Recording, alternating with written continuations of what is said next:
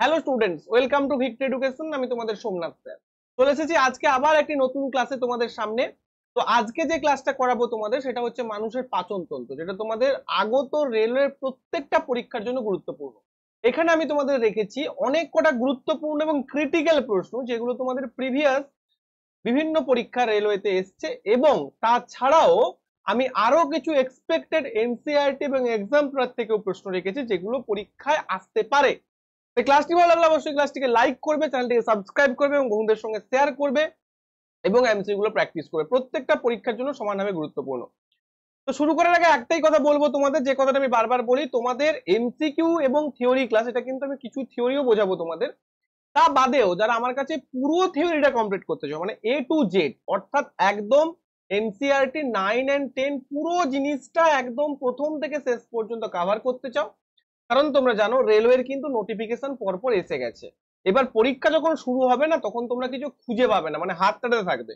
তাই তার আগে যাতে তোমার কাছে অস্ত্র প্রিপেয়ার থাকে, তোমার যে অস্ত্র, বুদ্ধির মগজাস্ত্র সেটা যাতে প্রিপেয়ার থাকে, এবং তোমার যাতে রেডিমেড সবকিছু হাতের কাছে পেয়ে যাও, তার জন্য আমাদের এক্সক্লুসিভ সায়েন্স ব্যাচ যেটার প্রাইস রয়েছে নশো নিরানব্বই টাকা, এবং কোয়ালিটি এবং কোয়ান্টিটি দুটোই তোমাদের কাছে এভেলেবেল থাকবে প্রচুর। একটা ছোট ছোট কনসেপ্ট আমি কিন্তু চুল চেরা বিশ্লেষণ করে এখানটা কিন্তু পড়াই, ঠিক আছে? এমসিকিউ চ্যাপ্টার এবং তার সাথে সাথে প্র্যাকটিস তার সাথে সাথে এক্সপেক্টেড লেভেলের প্রশ্ন এনসিআরটি এবং অনেকেই আমাকে প্রশ্ন করেছে, স্যার ইলেভেন টুয়েলভের কি এনসিআরটি পড়তে হবে? আমি বলি যে, অবশ্যই পড়তে হবে, কিন্তু পুরোটা নয়, কিছু সিলেক্টিভ চ্যাপ্টার পড়তে হবে। শুরু করা যাক আজকে ক্লাস দেখো, আমরা আজকে পড়তে চলেছি মানুষের পাচন তন্ত্র এই মানুষের যে পাচনতন্ত্র এনসিআরটি ক্লাস টেনে যে টাইপগুলো রয়েছে, সেটাই আমি মূলত এনসিআরটি বেসটাই তোমাদের পড়াবো। দেখো, মানুষের পাচনতন্ত্রের প্রথম যে অংশটা, সেটা হচ্ছে আমাদের বাক্কাল ক্যাভিটি। বাক্কাল ক্যাভিটি মানে কোন অংশটা? আমাদের এই যে মুখের যে অংশটা, অর্থাৎ এই যে অংশটা না, এই অংশটাকে আমরা বলছি বাক্কাল ক্যাভিটি। যেখানে কি কি রয়েছে? যেখানে আমাদের দুটো ঠোঁট রয়েছে, দাঁত রয়েছে এবং আমাদের জিহ্বা রয়েছে। সেখান থেকে আমরা কি করি? মূলত খাদ্য গ্রহণ করি। তাহলে এইখান দিয়ে আমরা কি করি? খাদ্য গ্রহণ করি বা বাক্তল যে ক্যাভিটি রয়েছে বা মুখ গহ্বর যেটাকে আমরা বলি, সেখানে আমরা খাদ্য মূলত গ্রহণ করি। ক্লিয়ার এবার এই যে খাদ্য গ্রহণ হচ্ছে, আমাদের যে দাঁত থাকে, দাঁতের প্রকারভেদটা আমি তোমাদের বোঝাচ্ছি। সেই দাঁত কি করে? না, দাঁত আমাদের ফিজিক্যাল ডাইজেশনে সাহায্য করে। তুমি বলবে স্যার ফিজিক্যাল ডাইজেশনের বিষয়টা কি? না ফিজিক্যাল ডাইজেশনটা হচ্ছে আমাদের যে খাওয়ার, আমরা তো বড় বড় খাবার খাই বিভিন্ন প্রাণী বিভিন্নভাবে খাদ্য গ্রহণ করে। তো সেই যে খাদ্যগুলোকে ছোট ছোট অংশে ভাগ করে দেয় বা একটা আপল, আপেল আমি হাতের কাছে নিলাম, যেটা কামড় দিলাম, এই যে কামড় দিয়ে আপেলটাকে ছিঁড়ে নিচ্ছি, তারপর ওটাকে টুকরো টুকরো টুকরো টুকরো করে ফেলছি, সেই যে সেটাও তো ওয়ান টাইপস অফ ডাইজেশন অর্থাৎ যেটাকে আমরা ফিজিক্যাল ডাইজেশন বলছি, সেটাতে হেল্প করছে কিন্তু আমাদের দাঁত। তারপর সেটা কি হচ্ছে না, আমাদের জিভের নিচে এক জোড়া, আমাদের চোয়ালের নিচে এক জোড়া আমাদের কানের দুপাশে এক জোড়া। টোটাল আমাদের ছটা স্যালিভারি গ্ল্যান্ড রয়েছে। কটা স্যালিভারি গ্ল্যান্ড রয়েছে? ছটা স্যালিভারি গ্ল্যান্ড রয়েছে। Parotid gland submaxillary gland আর সাব ম্যান্ডিবুলার গ্ল্যান্ড এই ছটা আমাদের যে প্যারোটিড গ্ল্যান্ড বা তিন জোড়া যে প্যারোটিড সরি তিন জোড়া যে লালা গ্রন্থি রয়েছে বা তিন জোড়া স্যালিভারি গ্ল্যান্ড রয়েছে, সেখান থেকে আমাদের স্যালাইভা খরিত হচ্ছে। যে স্যালাইভা কি করছে? না, খাদ্যের সঙ্গে মিশ্রিত হচ্ছে এবং খাদ্যের সঙ্গে মিশ্রিত হওয়ার পর ওটা কোথায় আসছে? ওটা ফ্যারিংসে আসছে। তোমাদের আমি আগেও বলেছি, এই যে ফ্যারিংস রয়েছে না, এই জায়গাটা দেখো, এই জায়গাটা যদি খেয়াল করো, তাহলে দেখবে এই ফ্যারিংসের জায়গাটা দুটো জিনিসের কমন কমন পথ হিসেবে কাজ করে। কার কার? একটা হচ্ছে নাক দিয়ে অক্সিজেন আসছে বা কার্বন ডাইঅক্সাইড বেরোচ্ছে, এই যে, এই অক্সিজেনটা এসে এটা কোথায় যাবে? না, এটা কিন্তু চলে যাবে আমাদের ডাইরেক্ট এখানে ঢুকে যাবে, অর্থাৎ কোথায়? না, আমাদের যে ট্রাকিয়া রয়েছে, সেই ট্রাকিয়ার মধ্যে যাবে। ল্যারিংস হয়ে ট্রাকিয়ার মধ্যে যাবে। আর খাদ্যটা কোথায় যাবে? খাদ্যটা চলে যাবে আমাদের গ্রাস নালী বা ইসোফেগাসের মধ্যে। তাহলে এই যে খাদ্য যাচ্ছে, আবার বায়ুও যাচ্ছে, তাদের কমন পথটা হচ্ছে ফ্যারিংস মনে থাকবে?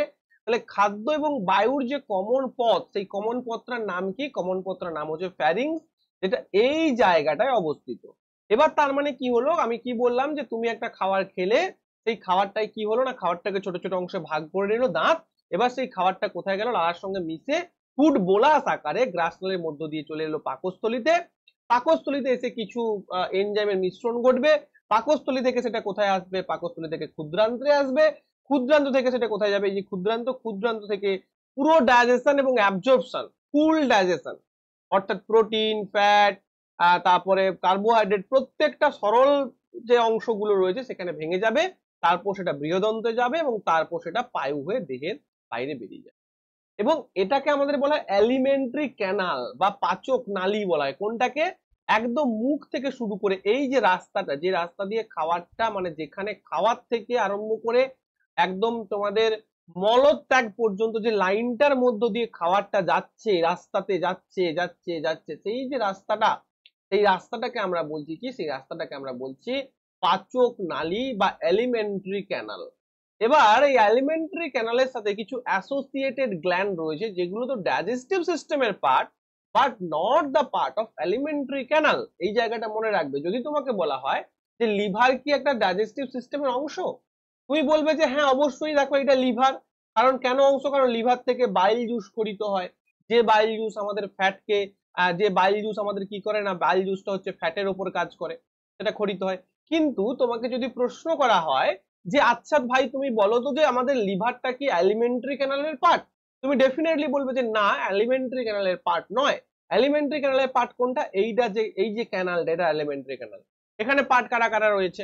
এখানে oesophagus stomach small intestine large intestine rectum anus অর্থাৎ পায়ু বৃহদন্ত্র ক্ষুদ্রান্ত, পাকস্থলী, এগুলো পার্ট ঠিক আছে?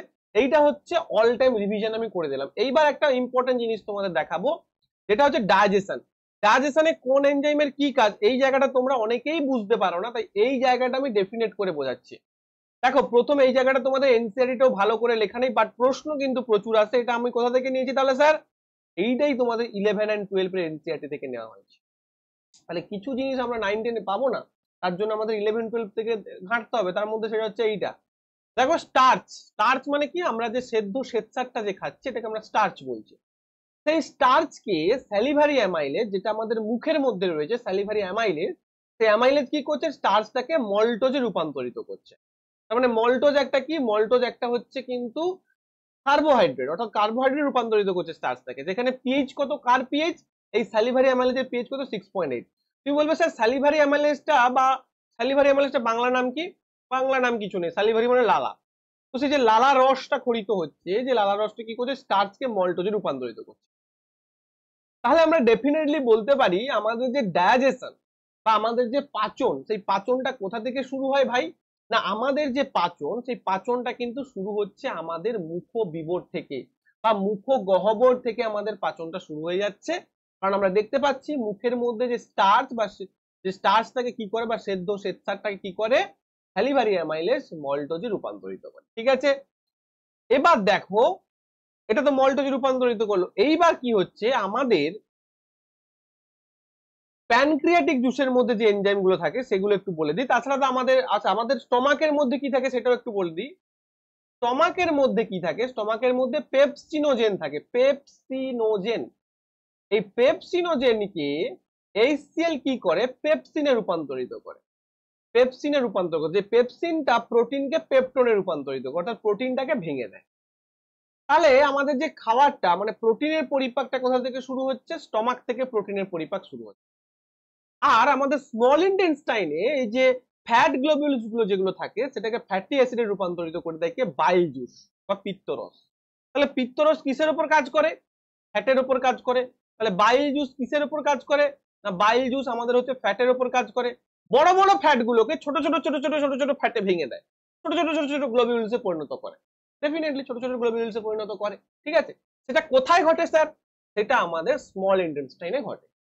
মনে রাখবে, পাকস্থলীতে প্রোটিনের পরিপাক হয়, মুখ্য বিবরে হচ্ছে কার্বোহাইড্রেট পরিপাক এবং স্মল ইন্টেস্টাইনের মধ্যে কার্বোহাইড্রেট প্রোটিন ফ্যাট তিনটেরই পরিপাক হয়। কি হয় দেখে নাও।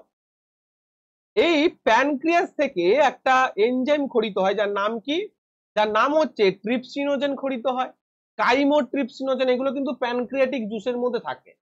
প্রো কার্বক্সি পেপটিডেজ এগুলো পরীক্ষা আসবে। অ্যামাইলেজ তার মানে দেখো অ্যামাইলেজ কিন্তু দু প্রকার।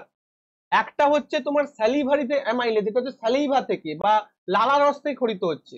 আর একটা হচ্ছে প্যানক্রিয়াটিক জুসের মধ্যে যে স্যালিভারি অ্যামাইলেজটা আছে, একটা হচ্ছে লাইপেজ আর নিউক্লিয়েজ এই অ্যামাইলেজটা কিসের উপর কাজ করে? অ্যামাইলেজটা হচ্ছে স্মল ইন্টেস্টাইনে যে কার্বোহাইড্রেট রয়েছে, তাকে ভাঙতে এই অ্যামাইলেজটা সাহায্য করে প্যানক্রিয়াটিক অ্যামাইলেজ কারণ প্যানক্রিয়াটিক জুসগুলো কোথায় গিয়ে পড়বে? স্মল ইন্টেস্টাইন বা ক্ষুদ্রান্তের মধ্যে গিয়ে পড়বে। দেখো প্রোটিন পেপটোনস এই যে পেপটোনসটা কোথায় পরিণত হয়েছিল? পেপটোনস বলেছিলাম পেপসিন প্রোটিনকে পেপটোনে রূপান্তরিত করতে তার মানে প্রোটিন পেপটোন প্রোটোজেজেস এটা কোথায় আসছে? এটা এই বিক্রিয়াটা কোথায় হচ্ছে? এটা স্মল ইন্টেস্টাইনের মধ্যে হচ্ছে। ট্রিপসিন কাইমোট্রিপসিন তার মানে ট্রিপসিন এবং কাইমোট্রিপসিন কোনটার উপর কাজ করছে বা কাকে পরিপাক করতে সাহায্য করছে? বলো প্রোটিন পরিপাকে সাহায্য করছে। মনে থাকবে? এবং লাইপেজ কার উপর কাজ করছে? লাইপেজ কিন্তু ফ্যাটের উপর কাজ করছে। অর্থাৎ বাইলটাও ফ্যাটের উপর কাজ করে, যেটা লিভার থেকে খরিত হয়। লিভারে বাইল উৎপন্ন বা লিভারে পিত্ত উৎপন্ন হয়। আর লাইপেজ যেটা, যে লাইপেজটা আমাদের প্যানক্রিয়াসে উৎপন্ন হয়, সেটাও ফ্যাটের উপর কাজ করে। মনে থাকবে? এগুলো ডাইরেক্ট পরীক্ষায় জিজ্ঞাসা করবে এবং এই টাইপের জায়গাগুলো কিন্তু তোমরা বেশি কোথাও পাবে না। সব এলিমেন্টারি ক্যানালের জায়গাগুলো পেয়ে যাবে। বাট এনজাইমের ভালো জায়গাটা মানে কোন এনজাইম কার উপর কাজ করছে, এই জায়গাটা ভালো করে কোথাও পাবে না। এই জায়গাটা বুঝে নাও এমসিকিউ করাবো, কোনো চাপ নেই। বড় বড় এমসিকিউ সব ভালো ভালো এমসিকিউ রয়েছে। ঠিক আছে? কোনো চাপ নেই, চলো। হ্যাঁ তো এই যে ব্যাপারটা, বুঝতে পেরেছ? তাহলে এটাকে কিসে রূপান্তরিত করছে? ডাইপেপটাইডস এ রূপান্তরিত করছে। মনে থাকবে? এবার হচ্ছে পলিস্যাকারাইড স্টার্চ অ্যামাইলেজ ডাইস্যাকারাইড আর ফ্যাটস তো লাইপেজে এ পরিণত করছে। এবার আলটিমেট প্রোডাক্টটা কি উৎপন্ন? ওটা লাস্ট প্রোডাক্ট দেখো মল্টোজটা কিসে রূপান্তরিত? হবে গ্লুকোজ অর্থাৎ গ্লুকোজে আলটিমেট রূপান্তরিত হবে যে কমপ্লেক্স কার্বোহাইড্রেট সেটা সিম্পল কার্বোহাইড্রেট বা গ্লুকোজে রূপান্তরিত হবে। ল্যাকটোজ কিসে রূপান্তরিত হবে? গ্লুকোজ প্লাস গ্যালাক্টোজ ল্যাকটোজ কি? ল্যাকটোজও কিন্তু কি হচ্ছে না? ল্যাকটোজও কিন্তু একটা প্রোটিন সুক্রোজ কিসে হচ্ছে না? গ্লুকোজ প্লাস ফ্রুক্টোজে এবং দেখো ডাইপেপটাইডস অ্যামিনো অ্যাসিড অর্থাৎ প্রোটিনটা লাস্ট পর্যন্ত অ্যামিনো অ্যাসিডে রূপান্তরিত হয়। মনে থাকবে? চলো। এইবার আমরা আস্তে আস্তে প্রশ্ন উত্তর করি। প্রথম প্রশ্ন বলেছে মানুষের প্রাপ্তবয়স্ক মানুষের কটি ক্যানাইন দাঁত আছে? এটা জানার আগে আমরা ডেন্টাল ফর্মুলা জেনে নেব যেটা পরীক্ষা আছে। দেখো, আমাদের দাঁতকে আমি চারটে অংশে ভাগ করব এইখান থেকে। এইখান থেকে চারটে অংশে ভাগ করে দেব। অর্থাৎ আমাদের দাঁত থাকে, ভালো করে বুঝবে, আমাদের এরকম দুটো চোয়াল থাকে, ওপরের দাঁত আর নিচের দাঁত। সেইটাকে তুমি চারটে অংশে ভাগ করে দাও। অর্থাৎ এখান থেকে শুরু করে এখানে, এখান থেকে শুরু করে এখানে, আবার এখান থেকে শুরু করে এখানে, আবার এখান থেকে শুরু করে ওখানে। অর্থাৎ এখান থেকে এই অংশে যে টাইপের দাঁতগুলো থাকবে, প্রথম হাফটা এখান থেকে শুরু করে এই অংশটাও সেই একই টাইপের দাঁত থাকবে। কি কি? দেখো প্রথম থেকে বলছি আমি তোমাদের। প্রথমে যে দাঁতটা ছিঁড়ে নিতে সাহায্য করবে প্রথম কামড়টা কোদালের মতো কেটে নিতে যেটা সাহায্য করবে। আপেলে ফার্স্ট কামড় বসিয়েছো তুমি, একটা আপেল কাটতে যাচ্ছ। ফার্স্ট যে দুটো দাঁত, এই যে দুটো বড় বড় দাঁত আমার সামনে দেখতে পাচ্ছ তোমরা পান খেয়ে খেয়ে কষ লেগে গেছে যে দাঁতটা। আমি খুব একটু পানটা খাই শুধুমাত্র, ঠিক আছে? সেই দাঁতটা হচ্ছে আমার ইনসাইজার তাহলে ইনসাইজার কটা রয়েছে? ইনসাইজার দুটো রয়েছে। একটা দেখবে এই যে, এই এই যে ইনসাইজার এই যে ইনসাইজার এর পাশেও একটা ইনসাইজার রয়েছে, দুটো incisor incisor canine premolar molar অর্থাৎ টু ওয়ান টু থ্রি এই টু ওয়ান টু কোনটার জন্য? এই হাফটার জন্য। তাহলে দুটো কি? দুটো হচ্ছে ইনসাইজার ইনসাইজার দুটো রয়েছে।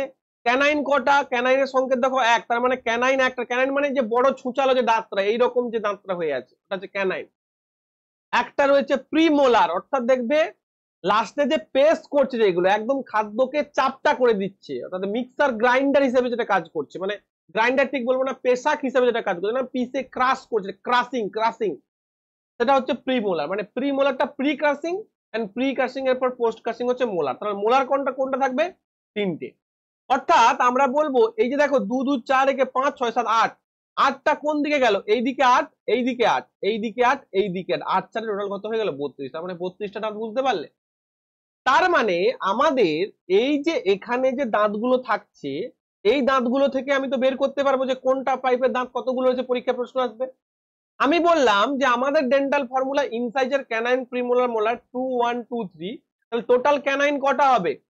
প্রত্যেকটা সঙ্গেই তো আমরা চার গুণ করব, তাহলেই তো আমাদের হিসাব হবে। ইনসাইজার টোটাল আটটা ক্যানাইন টোটাল চারটা প্রিমোলার টোটাল আটটা, আর মোলার টোটাল বারোটা। দেখো, বারো আটে কুড়ি কুড়ি জারে চব্বিশ চব্বিশ যুক্ত আট, বত্রিশ, বত্রিশটা দাঁত এভাবে সম্পূর্ণ হলো বুঝতে পেরেছ? তার মানে টোটাল ক্যানাইন কটা থাকবে? টোটাল ক্যানাইন থাকবে চারটা, তাহলে এখানে সঠিক উত্তর কটা হয়ে যাবে? চারটা হয়ে যাবে সঠিক উত্তর। বিভিন্ন পরীক্ষাতে প্রশ্ন এসেছে আর আর বি এনটিপিসি তে এসেছে গ্রুপ ডি তে এসেছে সিজিএল এ এসেছে, ঠিক আছে? নেক্সট দেখো। এটা খুব একটা ভালো প্রশ্ন, এটা ছাব্বিশ আর দু তোমাদের গ্রুপ ডি তে আসা প্রশ্ন। দেখো, প্রশ্নটা বোঝো, প্রশ্নটা আমি বোঝাচ্ছি। কি বলছে আগে বোঝো। বলেছে টেস্ট টিউব এ এবং টেস্ট টিউব বি দুটো দিয়েছে, এবার কি হয়েছে দেখো। এটা একটা টেস্ট টিউব এই এ একটা টেস্ট টিউব কি প্রশ্নটা বলতে চাইছে আগে বোঝাচ্ছে। দেখো এ একটা টেস্ট টিউব বি একটা টেস্ট টিউব এবার এ টেস্ট টিউবে লালা রস রয়েছে। মানে লালা রস বলছি এ টেস্ট টিউবে কি দিয়েছে না এস টেস্ট টিউবে স্টার্চ দিয়েছে? এই যে দেখো রাইস দিয়েছে রাইস এবার স্টার্চ কিন্তু বলে রাইসে কি আছে? বয়েল রাইসে বয়েল রাইসে কি আছে? স্টার্চ রয়েছে। স্টার্চ রয়েছে। এবার দেখো ভালো করে, এখানেও বয়েল অ্যান্ড চিউয়েড রাইস অর্থাৎ চিউয়েড রাইস ভালো করে বোঝো। প্রশ্নটা বোঝো। এখানে দিয়েছে বয়েল রাইস আর এখানে দিয়েছে বয়েল অ্যান্ড চিউয়েড রাইস অর্থাৎ একটা দিয়েছে বয়েল রাইস শুধু দিয়ে দিয়েছে ওর মধ্যে টেস্ট টিউবের মধ্যে। আর একটা জায়গায় তোমার মুখে বয়েল রাইসটা তুমি চিউয়েড করেছ মানে বয়েল রাইসটা তুমি কি করেছ, লালার সঙ্গে মিশিয়ে দিয়েছ। মিশিয়ে দেওয়ার পর ওটাকে ওই টেস্ট টিউবের মধ্যে দেওয়া হয়েছে। ঠিক আছে? এবার দুটো টেস্ট টিউবেই কি করা হয়েছে না আয়োডিন দিয়ে? এটা খুব কঠিন প্রশ্ন ছিল মানে যারা একটু বুদ্ধি খাটিয়ে করতে পারবে, তারা ছাড়া এই প্রশ্নটা কেউ পারবে না কিন্তু। ভালো করে বোঝো। এবার দুটো টেস্ট টিউবেই কি করা হয়েছে? দুটো টেস্ট টিউবেই আয়োডিন দেওয়া হয়েছে। এবার তোমরা জানো যে আয়োডিনে যদি মানে স্টার্চে যদি আয়োডিন দেওয়া হয়, তাহলে সেটা কি হয়? সেটা নীল বর্ণ ধারণ করে। আমরা দেখলাম যে এ টেস্ট টিউবটা নীল বর্ণ ধারণ করল, কিন্তু বি টেস্ট টিউবটা নীল বর্ণ ধারণ করল না। তাহলে এর পিছনে কারণটা কি? আবার বলছি, প্রশ্নটা ভালো করে বোঝো। একটা টেস্ট টিউব অর্থাৎ এ টেস্ট টিউবে কি করা হয়েছে না, এটা বয়েল রাইস নেওয়া হয়েছে। বয়েল রাইস দেওয়া রয়েছে বয়েল রাইসের মধ্যে স্টার্চ থাকে, তার জন্য সেখানে আয়োডিন দেওয়ার জন্য নীল রং ধারণ করেছে। কিন্তু বয়েল অ্যান্ড চিউয়েড রাইস অর্থাৎ মুখের মধ্যে আমি নিয়েছি, চিবিয়ে চিবিয়ে চিবিয়ে চিবিয়ে কি করেছি লাল মিশ্রিত করে ওটা দিয়েছি ওখানে আয়োডিন দিলাম, ওখানে কোনো বর্ণ এলো না। কেন? এইবার সেই অপশনসগুলো দিয়েছে। বলেছে স্টার্চ লালাতে পেপসিন দ্বারা হজম হয়ে গেছে লালাতে কি পেপসিন থাকে? পেপসিন কোথায় থাকে? এক্ষুনি বললাম। পেপসিন থাকে আমাদের স্টোমাকের মধ্যে। তোমাদের বারবার বলছি যে ডাইজেস্টিভ সিস্টেমে যদি কঠিন প্রশ্ন কখনো আসে, তখন মনে রাখবে সেটা এনজেম রিলেটেড কঠিন প্রশ্ন আসবে। বাদ বাকি যে প্রশ্ন আসুক না কেন, সহজ। কিন্তু এনজেম রিলেটেড যদি প্রশ্ন দেয়, তাহলে তবেই সেটাই তবে কঠিন হবে। তাহলে কি বলেছে? স্টার্চ লালাতে পেপসিন দ্বারা হজম হয়েছিল লালাতে পেপসিন থাকে না। কেটে দাও। স্টার্চ লালাতে ট্রিপসিন ট্রিপসিন কোথায় থাকে? প্যানক্রিয়াটিক জুসে ট্রিপসিন থাকে, যেটা প্রোটিনের ওপর কাজ করে। খুব সুন্দরভাবে বুঝতে পারছ, কেটে দিলাম। স্টার্চ লালাতে লালা অ্যামাইলেজ দ্বারা হজম হয়েছিল। একদম সঠিক উত্তর। অর্থাৎ বি নম্বর যে টেস্ট টিউবটা সেখানে কি হয়েছে? যেহেতু তুমি বয়েল রাইসটাকে চিউ করে নিয়েছো, তো তোমার বয়েল রাইসের মধ্যে লালা রস মিশে গেছে। লালা রসে রয়েছে স্যালিভারি অ্যামাইলেজ যে স্যালিভারি অ্যামাইলেজটা কি করেছে? না, ওই যে স্যালিভারি অ্যামাইলেজ ওটা কি করেছে? না স্টার্চটাকে মল্টোজে রূপান্তরিত করে দিয়েছে। স্টার্চটাকে মাল্টোজে রূপান্তরিত করে দিয়েছে। যেহেতু মাল্টোজে স্টার্চ রূপান্তরিত হয়ে গেছে, ওখানে আয়োডিন কোনো রিয়াকশন ঘটায়নি স্টার্চ নেই। তো স্টার্চ নেই, তো সেই জন্য ওখানে নীল রং দেখা যায়নি। খুব ভালো প্রশ্ন লাইফ এজ তো ছিলই না, তাহলে বাদ দাও। কমন সেন্স দ্বারা করতে পারবে এখানে মানে অপশনসগুলো দেখলে তুমি যদি একটু ভালো করে এনজাইম সম্পর্কে নলেজ থাকে, এটা করতে পারবে না লেটেস্ট প্রশ্ন নেক্সট প্রশ্ন বলছে, মানব প্রাচনতন্ত্রের নিচে লেখা কোন প্রতিক্রিয়াটি ময়লার উপর সাবানের ইমালসিফিকেশনের অনুরূপ? খুব ভালো প্রশ্ন। ময়লার উপর সাবানের ইমালসিফিকেশনের অনুরূপ একটা অপশন তোমাকে খুঁজতে বলেছে। বলছে, পিত্ত লবণ দ্বারা বড় দানাগুলি ছোট চর্বিযুক্ত দানাগুলিতে পরিণত, অর্থাৎ বড় চর্বি দানাগুলো ছোট চর্বি দানাগুলোতে রূপান্তরিত। অপশন বি বলছে, পিত্তরস দ্বারা ক্ষারীয় মাধ্যম সরবরাহ করা হয়। পিত্তরস দ্বারা এনজাইম দ্বারা স্টার্চ হজমে সহায়তা করে, প্রথমেই এটা আমি কেটে দিলাম। পিত্তরস দ্বারা অ্যাসিডিক মাধ্যম সরবরাহ করে, এই দুটো তো একদমই ভুল।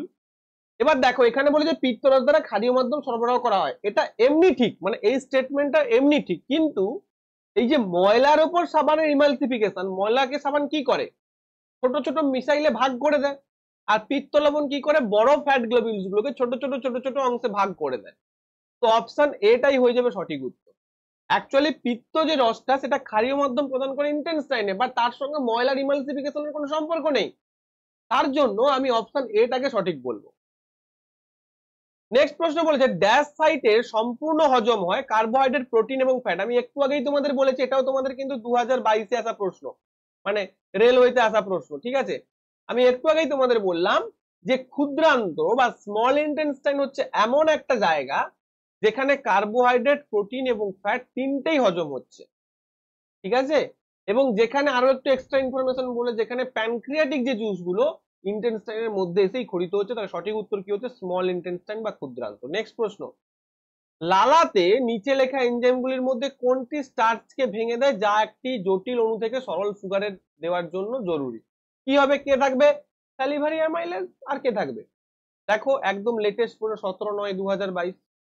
নেক্সট এইটা একটা তোমাদের কিন্তু, এটাও তোমাদের গ্রুপ ডিতে তিরিশ নয় দু হাজার আসা প্রশ্ন। কি বলেছে দেখো?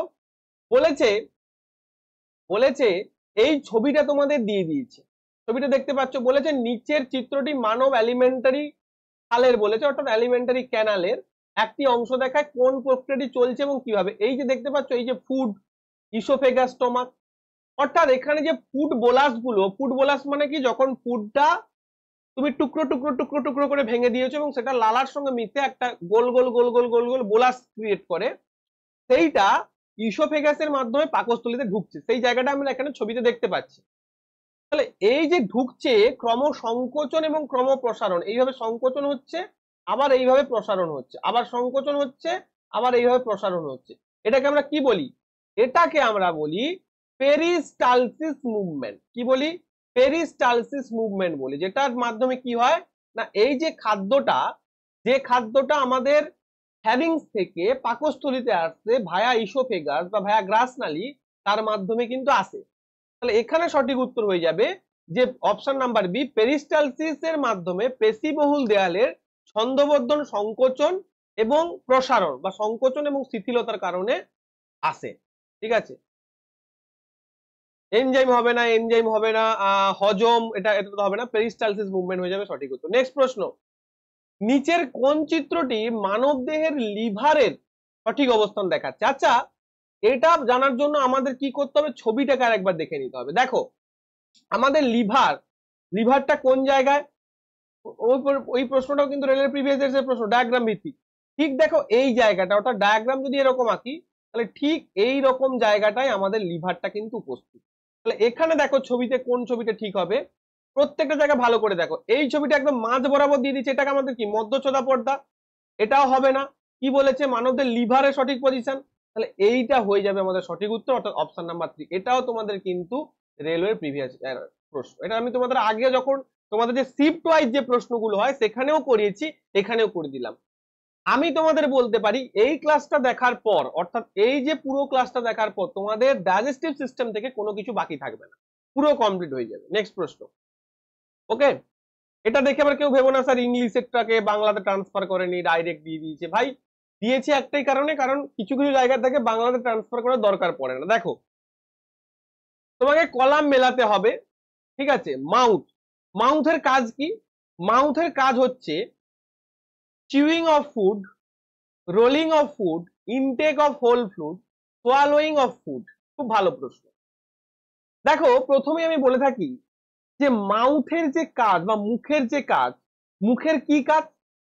না, মুখের কাজ হচ্ছে যে আমাদের যে টোটাল ফুডটা রয়েছে, সেই ফুডটাকে কি করা? ইনটেক করা বা ফুডটাকে গ্রহণ করা। তাহলে একের দাগের কি হয়ে যাবে প্রথমটা? অর্থাৎ একেরটা আমি প্রথমটা বলে দেবো যে সি। একেরটা সি। নেক্সট টিথ টিথ কি করে? না টিথটা কি করে?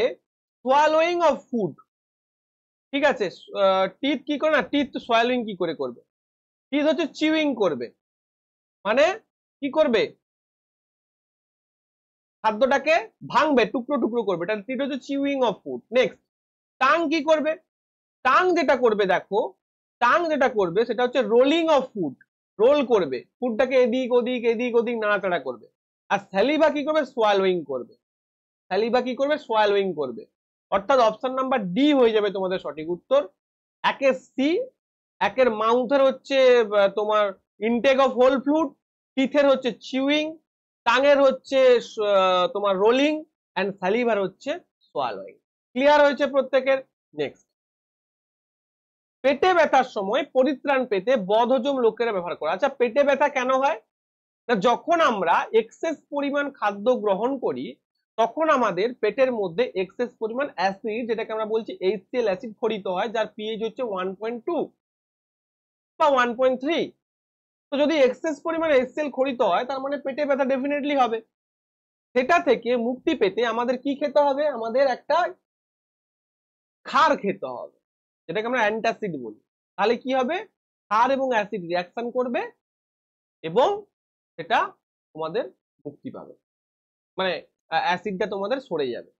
তাহলে সঠিক উত্তর কি যে মিল্ক অফ ম্যাগনেসিয়া এই মিল্ক অফ ম্যাগনেসিয়া হচ্ছে অ্যান্টাসিড ব্যবহার করা হয়, যেটা আমরা খেলে পেটে ব্যথার সময় পরিত্রাণ পাবো। নেক্সট প্রশ্ন। এই প্রশ্নটা ইংলিশ এবং বাংলায় দুটোতেই রয়েছে। বাংলাটা বুঝতে পারবে না, কারণ ট্রান্সলেটটা এমন ভাবে হয়েছে, বুঝতে পারবে না। তাহলে আমি ইংলিশটা পড়ে শোনাই, বুঝতে পারবে তোমরা। The enzyme responsible for final conversion of protein into amino acid complex carbohydrate into glucose and fats into fatty acid and glycerol is present in the ভালো করে বোঝো। বলছে, এমন এনজাইম যেটা তিনটেই কাজ করবে, প্রোটিনটাকে অ্যামিনো অ্যাসিডে রূপান্তরিত করবে, আবার কার্বোহাইড্রেটটাকে গ্লুকোজে রূপান্তরিত করবে, আবার ফ্যাটটাকে ফ্যাটি অ্যাসিডে রূপান্তরিত করবে, সেটা কোথায় প্রেজেন্ট আছে? আমি কোথায়, তাহলে এই যে তিনটে কাজ কোথায় হয়? মানে টোটাল যে কাজটা, অর্থাৎ প্রোটিন ফ্যাট আমাদের হচ্ছে যে কার্বোহাইড্রেট এই টোটাল যে কাজটা আমাদের ইন্টেনস্টাইনের মধ্যে হয় ডেফিনেটলি স্মল ইন্টেনস্টাইনের মধ্যে হয়। তাহলে এখানে সঠিক উত্তর কি হয়ে যাবে? সঠিক উত্তর হয়ে যাবে আমাদের ইন্টেনস্টিনাল জুইস অর্থাৎ কোথায় রয়েছে আমাদের? না, আমাদের রয়েছে কিন্তু অন্ত্রের রস বা আন্তরিক রস বা ইন্টেনস্টিনাল জুইসের মধ্যে রয়েছে যে সমস্ত কিছু কি করবে? সমস্ত কিছু ট্রান্সফার বা ইয়ে করতে পারবে। ঠিক আছে? নিচের কোন স্থানে ঘোড়া, খরগোশ ইত্যাদি প্রাণীদের মধ্যে ব্যাকটেরিয়া দ্বারা সেলুলোজ নির্দিষ্ট পরিপাক হয়? তোমরা নিশ্চয়ই জানো, এই সেলুলোজ আমাদের কিন্তু পরিপাক হয় না। কারণ আমাদের সেলুলোজ নিধনকারী যে এনজাইম সেটা আমাদের দেহে থাকে না। অর্থাৎ আমরা যখন ঘাস, পাতা বা শাক খাই তাদের যে সেল ওয়ালটা সেলুলোজ দিয়ে নির্মিত নির্মিত হয় উদ্ভিদে, তো সেক্ষেত্রে সেটা দেখবেন নীল নীল নীল নীল আমরা যখন মল ত্যাগ করি, সেখানে সেটা বেরিয়ে যায়, হজম হয় না। কিন্তু রুমেন টাইপের যে অর্গান একটা থাকে, এই যে যারা শাকাসি প্রাণী হয় তাদের স্পেশালি তাদের কিন্তু সেখানে পরিপাক হয়। সেটা হচ্ছে সিকাম। সিকামে হয়। বা রুমেন যদি থাকে, রুমেনে বলতে পারো মেনলি নেক্সট নিচের কোনটি একটি নিষ্ক্রিয় অঙ্গ? এদের মধ্যে নিষ্ক্রিয় অঙ্গ কোনটা? অর্থাৎ যেটা একদম নিষ্ক্রিয়, কাজ নেই, কিন্তু সেটা আমাদের দেহে রয়েছে। কোনটা? অ্যাপেন্ডিক্স। একদম। চলো নেক্সট নেক্সট প্রশ্ন বলেছে, কোন এনজাইমের উপস্থিতি প্রয়োজন হাইড্রোক্লোরিক অ্যাসিড প্রক্রিয়াতার কর্মের জন্য হজম? অর্থাৎ এখানে বলতে যে, কোন enzyme which enzyme required the required the presence of hydrochloric acid for its action in the process of digestion অর্থাৎ আমাদের হজমের জন্য কোন এনজাইমকে অ্যাক্টিভ করতে গেলে এই হাইড্রোক্লোরিক অ্যাসিডের প্রেজেন্ট দরকার? তার মানে দেখো হাইড্রোক্লোরিক অ্যাসিড কোথায় খরিত হয়? আমাদের স্টোমাকের মধ্যে খরিত হয়। আর আমাদের স্টোমাকের মধ্যে একটা এনজাইম আছে, যেটার নাম হচ্ছে পেপসিনোজেন। এই পেপসিনোজেনকে অ্যাক্টিভ ফর্মে নিয়ে আসতে গেলে পেপসিনে রূপান্তরিত করতে হয়। আর সেই পেপসিনে রূপান্তরিতকরণ কে করে? না, পেপসিনে রূপান্তরিত করে এইচসিএল। এইচসিএল কি করে? না, পেপসিনোজেন পেপসিনোজেন। এই পেপসিনোজেনকে পেপসিনে রূপান্তরিত করবে। কে করবে? এইচসিএল করবে। এবং এই পেপসিনটাই পরে কি করবে? প্রোটিনকে হজম করতে সাহায্য করবে। তাই তো? তাহলে সঠিক উত্তর কি হয়ে যাবে? পেপসি। নেক্সট প্রশ্ন। চলো। এখানে কিছু নিষ্ক্রিয় অঙ্গ সম্পর্কে দেওয়া রয়েছে। মেল নিপিলস কক্সিস মানে আমাদের যে লেজের অংশ টনসিলস ইয়ার মাসেলস তারপরে উইসডম টিথ এগুলো কিন্তু অ্যাপেন্ডিক্স বডি হেয়ার এইগুলো, ঠিক আছে? নিচের কোন অঙ্গে মানুষের শরীরে কার্বোহাইড্রেট গ্লাইকোজেন হিসাবে সংরক্ষণ থাকে? গ্লাইকোজেন হিসেবে কোথায় সংরক্ষণ? এগুলো কিন্তু প্রত্যেকটা তোমাদের এনসিআরটি বেস এক্সপেক্টেড প্রশ্ন। পরীক্ষার জন্য ভীষণ গুরুত্বপূর্ণ। তোমাদের ক্রিটিক্যাল টাইপের যে প্রশ্নগুলো ছিল সেগুলো করেছি এক্সপেক্টেড প্রশ্ন করাচ্ছি। কোথায় হবে? লিভারে। লিভারে মানে সংরক্ষণ থাকে। ঠিক আছে? আচ্ছা আর একটা জিনিস বলে দিই। গ্লুকোজ থেকে যখন গ্লাইকোজেনে পরিণত হয়, তখন তাকে আমরা বলছি গ্লাইকোজেনেসিস। আর গ্লাইকোজেন থেকে গ্লুকোজে পরিণত হয়, সেটাকে আমরা বলছি গ্লাইকোজেনো লাইসিস এটাও পরীক্ষা আসতে পারে। নেক্সট প্রশ্ন, নিচের কোন অঙ্গ প্রাপ্তবয়স্ক মানুষের ক্ষতির পরে পুনরায় বৃদ্ধি পেতে পারে which of the below mentioned human organs can regrow after damage in adult এটা তোমাদের এসএসসি তে আসা প্রশ্ন। তো এই যে প্রশ্নটার উত্তর যদি করতে হয়, তাহলে আমাদের জানতে হবে যে কোন অংশটা তারা একটু গ্রো করতে সাহায্য করে বা কোন অংশটা বৃদ্ধি হয়। আমরা বলি মাঝে মাঝে মনে আছে যে লিভার বেড়ে গেছে।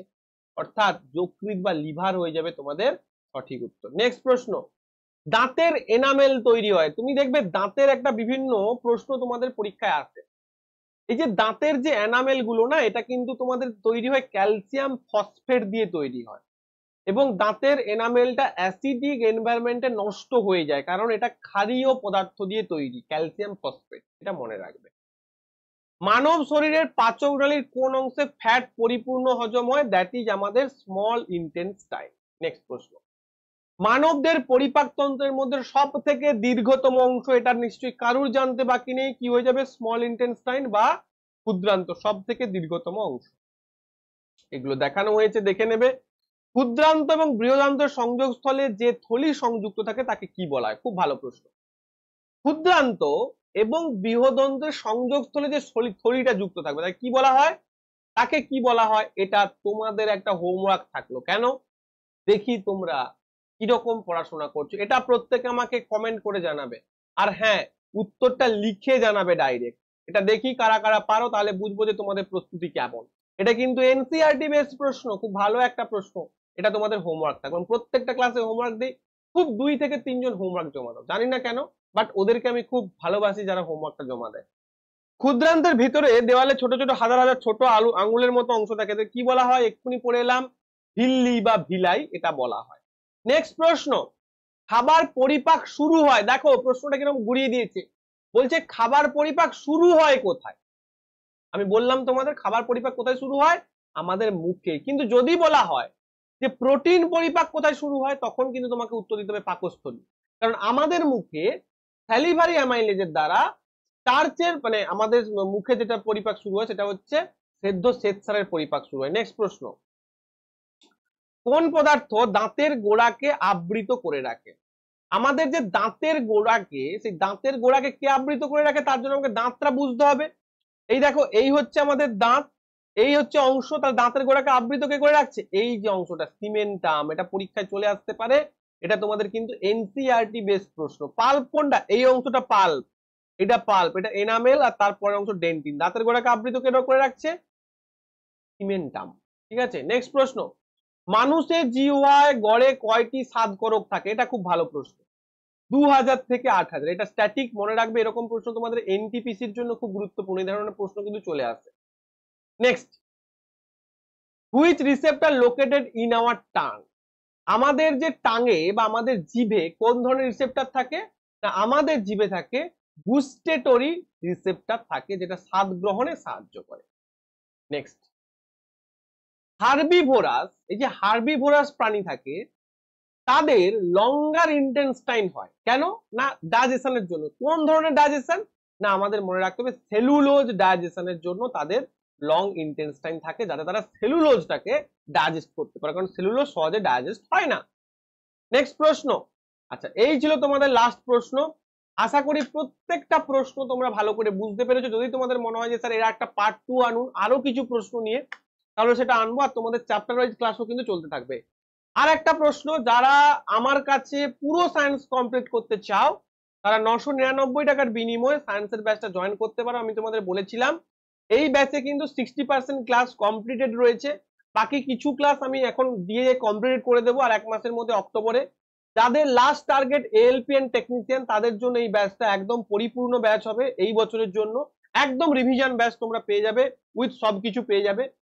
লাস্ট যে টাইমটা রয়েছে, সেই টাইমে এই পুরো সায়েন্সটা কমপ্লিট করলে, কারণ মনে রাখবে ফর্টি বাই ফর্টি তুমি যদি পেতে পারো টেকনিশিয়ানে তুমি কিন্তু সিলেকশন হয়ে যাবে। তো টেকনিশিয়ানে অনেকটা ভ্যাকেন্সি রয়েছে, যারা সায়েন্সকে ভালো করে প্রিপারেশন করতে চাও, এবং শুধু তাই নয় এলপির সিবিটি ওয়ানের সায়েন্স এবং সিবিটি টু এর সায়েন্স দুটোই কভার হবে এখানে। ঠিক আছে? প্লাস পরে সিবিটি টু এর জন্য এক্সট্রা আমি আরও অনেক কিছু দেবো এর সাথে ফ্রিতে তো। সেটা কভার হয়ে যাবে। তাই যারা এই ব্যাচটা জয়েন করতে চাইছো ডেফিনেটলি এই নাম্বারে ফোন করে জয়েন করে যাও। আদারওয়াইজ যারা চাইছো নিউ ব্যাচে ভর্তি হবে তারা একটু অপেক্ষা করে যাও, অক্টোবরে আমাদের কিন্তু নিউ ব্যাচ আসবে। তুমি সেই সম্পর্কে কোয়ারির জন্য আমাদের এই নাম্বারে কন্ট্যাক্ট করতে সবাই খুব ভালো থেকো।